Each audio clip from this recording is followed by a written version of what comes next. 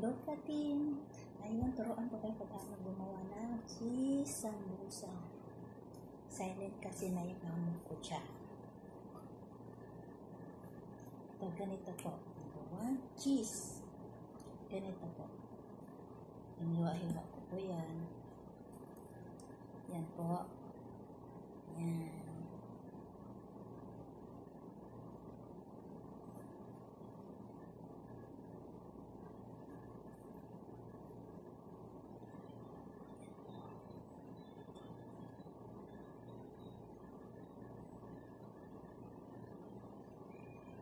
Kaya tuloy yung kamay ko. Kapag may kamera, kating, nahihiya yung kamay ko. Ako.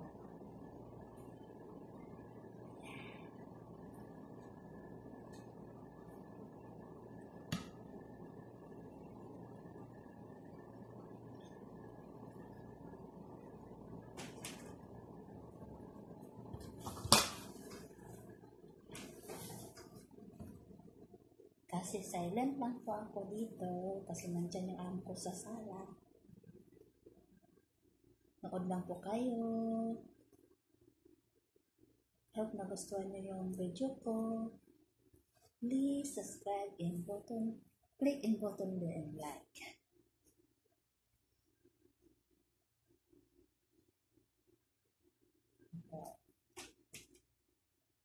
Kano, cheese sambusa.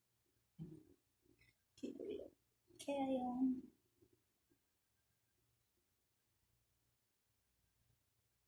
yan po.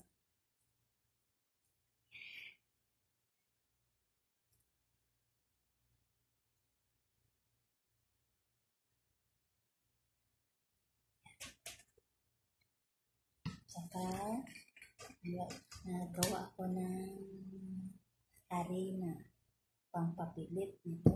Ganito po. Yan po yan. Lagyan ko ng tubig lang para papilit.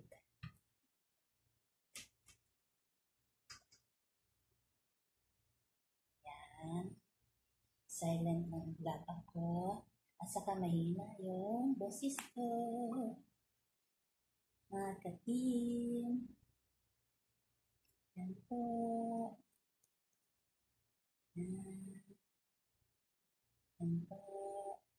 Very easy lang po siya. Yan po.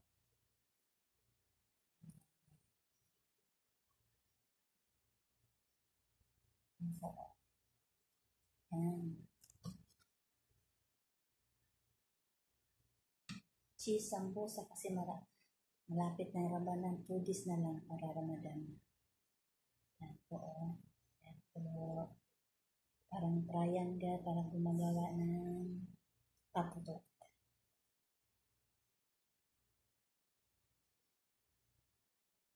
I hope mga katim, hindi po kayo magsawa sa panood ng YouTube ko.